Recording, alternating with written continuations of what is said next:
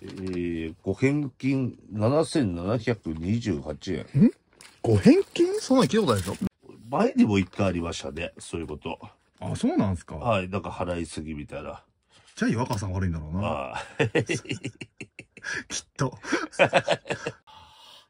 めんどくせえ。なんでそんな雑なんですか？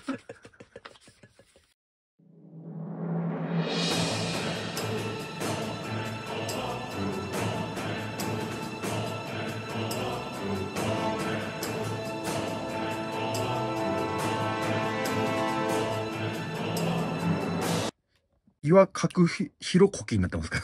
そこチャンネルのチャンネル登録をよろしくよろしくお願いしますちゃちゃちゃちゃはい、岩川さん、こんばんは。はい、こんばんは。あー岩川さん、はい。今日も岩川さんほら怪我で本調子ではないじゃないですかはい。あんまり動動き回れないですよねまあ、結構元気ですけどね。あだいぶ回復してきました？はい。ああならよかったですただ一応ねなんかあんま動いちゃ心配なんで、はい。あの下のポストから手紙取ってきましたんで、はい。はい。だから、家庭持ってくるのやめてください。忘れちゃうすごい溜まってますよだって岩川さんい自分でやりますよ。やなんかねほらこちら大切なお知らせです必ずご開封くださいって来てるんですよはい。で東京エナジーパートナー。まあ東京電力ですよね。ああ、東そういうか、京電力なんか、この前営業マンが来ましたね。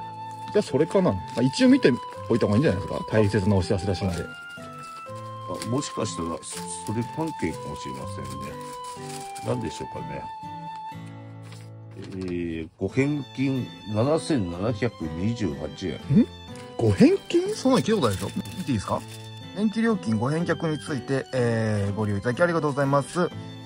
おすごいですよ、岡さん。はいはい。以下のご契約分について、いただきすぎの電気料金がございました。あはいはい。えー、つきまして、お客様の口座へ振り込みにて返却させていただきますと、はい書いてありまして、えー、4月6日までに切り取り線以下の空欄へ必要事項をご記入の上、同府の返信用封筒にてご郵送いただく、あ、ご郵送くださいますようお願い申し上げます。えそういえば岩川さんなんか先月ぐらい電気代が高えって言ってましたあはいはいはい。その月はどれぐらいだったんですか？1万1000円ぐらい。1万1000円？は普通一人暮らしの人って、あ特にあ一人暮らしの男の人って、は1万円超えることはねまずなくい。ないですか？いやいや、まず、なかなかないですよ。普段はどれぐらいですか岩川さんの電気料金って？だから、高くても8000円ぐらいですよ。まあそうですよねそんなもんだと思います、はい僕もそうだった記憶がありますしかも、1万1000円の翌月がまた1万1000円だったんですよ。2ヶ月連続でうん普通じゃありえない料金いってたとはい。確かになんか騒いでましたもんね、はい。何が原因かわかんねえっつってああ、ほ本当です。それだそれがこれだったのかなじゃあ恥かきましたよ。何が？給料とかもらってて、うんもう余裕で払えるなって思って、うんコンビニで、その、支払い書出したら、2万いってるから、あ2ヶ月分払おうとしたんですね はいはいはい足りねえってなって。電気代も払えねえおじさんが来たってなっちゃったんだ はい。あの、外国人の店員さんだったので、笑ってました。さすがフランクですねはい。なんか、お金なさそうな日本人が、お金払おうとして、払えなかったのが、めっちゃツボにはまったみたいで。こいつ電気代払えないのか HA、HA っていう。気使われるより笑ってもらった方がこっちとしてはありがたかったですけど。はああ。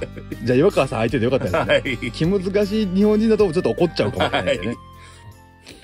ああ、じゃあそういうことだったんだ。はい。ていうか、こんなことあるんですよ。僕初めて見ました。もらいすぎ、いただきすぎの電気料金に書いてますね。あもしかしたら二重に払ったりとか、そんな感じだったんかね。何かしらを？うん。へえ。なんでこんなことが起きたんでしょうね。例えば6月分つって、うん。こう来ますよね、支払い書が。で、また6月分まだですか？って来ますよね。払ってなかったら。ああ、なるほどね。岩川さんが払うの遅れちゃって、うん。請求書が2回来て、うんで。岩川さんがその 2, 2通分と持ってっちゃったみたいな。あ多分そんな感じだったんじゃないかなって。料金も本当に似たような感じだったし、2枚とも。まあでもじゃあ、よかったですね。はい。7000円、そ、そこそこ大きいですからね。はい週1回しか働いてなくて、はいその1回の給料が1万円ぐらいうん。それの7割ぐらい、7割、8割ぐらい返ってくるわけですはい。か。7700円なんては。い。1回分バイト得したじゃないですか。はい。別に得はしてないですよね。でも嬉しいでしょ。はいはいはい。だからほら、気をつけないと。結構期限み、先短いですよ。1月6日までに、えー、これ、封送しな、あの、返送はい。封筒に入れて、これ、送らないと。多分もらえないですから。いや、別に、来月の電気料金安くしてくれればそれでもいいんですけどね。どうなんですかね。これ出さないとあれなんですかね。いや、そう書いてありますよ。はまあ、確かにそれでもいいかなって思うけど、はいまあ俺い、いろいろ人によっては、い。はい。7000いかないような人もいるかもしれないし、引っ越しちゃうみたいな人もいるかもしれないから、あはいはい。そういう感じになるんじゃないですか。またこれ書くんですか？めんどくせえですよね。ボールペンありましたね。さて、どうしましょうか？なんか、下敷きになるもの。これなんか封筒ですか？あ、封筒ですね。それ下敷きにするんだ。はい。えー、っと、金融機関。めんどくせえ。めんどくせえ。えーっと、はい。今からちょっと口座番号を見せるんで、はい。あ、じゃあ映らないようにしますね。あ、いやー、はいはい。え？別にアクシデントの感じで映してください。映していいんですか？はい。もしよかったらね、あの、スパチャとかじゃなくて、こっちに。はい、映しません。そんな、そんな危ないことしません。下手したら、なんかこれ番になるじゃないですか。確か池袋だったと思うんだよ視点名？な。うん。あ調べた方がいいかな。普通は調べないと危ないんじゃないですか？めんどくせえなスマホですぐ調べられますよ。はーい。それはめんどくさいんですよ。え店舗番号は、これ、資格足りる？これ。ちゃんと。うん。だ。なんやこれ。どうしました？なんでこんなマスがいっぱいあるんだよ。えそれな、な、何用のマスですか？これ、自分の名前用のです。あ、それは名前長い人もいますもん。岩川だはだったら4文字でいいけど、サムラゴウチとかもいるんだから。はい。サムラゴーチにしても、マス取りすぎやろ。ここ取っちゃダメですよ。ん？何ですかそれは？電話番号です。わかりました。口座番号は取っていいですけど、はい。電話番号は全然。どういう基準で生きてるんですかあなた。LINE は晒してるし、住所も晒してるのに。なぜか電話はダメって。はい。えー、これで OK ですかね。一応僕見ていいですか？なんか心配なんで。はいはい。大丈夫ですかこれ。何ですか？岩角ひひろこきになってますけど。ひろゆきだよ。わかるよ、そんなもん。ああ、ひろこき。岩、あ、ごめん、間違えましたね。いくくくひろこきですね。いくくくひろこきさんになってます。なんとか読めりゃ、中川ひろゆきなんとかだとちょっと嫌なんですけどね。じゃあその銀行名とか書いてるのがいいですよ、一応。あ、銀行名。銀行名なんだっけ。ああ、痛い痛い。池袋だと思うんだけどね。そめんどくせえ。イライラするぜ。これで7000もらえるお仕事と思ったら、とんでもなく悪いですよ、だって。いや、だから、これ、もともと俺の金やし。ああ、じゃあいいです、もう。はこれもう破り捨てるんで。い。はい、なんてだよ。え三つ、えー金融機関名。ここでいいんだね、三つ。三井住友だよね。あ、岩川さん使ってるんですか？ああ、いいいから書いちゃった。え？三井って書かなきゃいけないのはい。ああ、めんどくせえ。すべてをぶっ壊したくなるぜ。あ、じゃあ、とりあえず脇腹ぶっ壊してあげます。手始めに。今壊れやすそうなんで。もう壊れてるんだよ。壊れかけじゃなくて。あ、そうなんですか。壊れかけの脇腹じゃないはい、違います。壊れてます。検索、えー、て、店番225。あと、三井住友の金融、ん機関コードでしたっ三井住友銀行、け どうしました？三井住友銀行、金融コード。あこれ0009ってこと？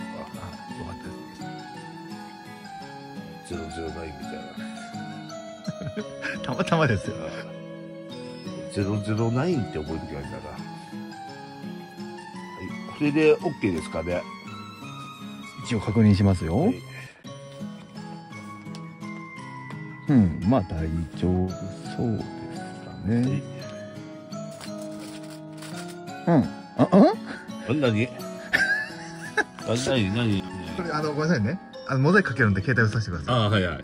あ、あ、090から始まる番号が書いたんですけど、あ、はいはい。最後はみ出してますよね。間違ってハイフン書いちゃいました。見てください。ハイフンなしって書いてありますのに、これハイフン入れちゃって、押し出されちゃってますね、4番が。あ、し、しょうがないです。やば、これ、やば。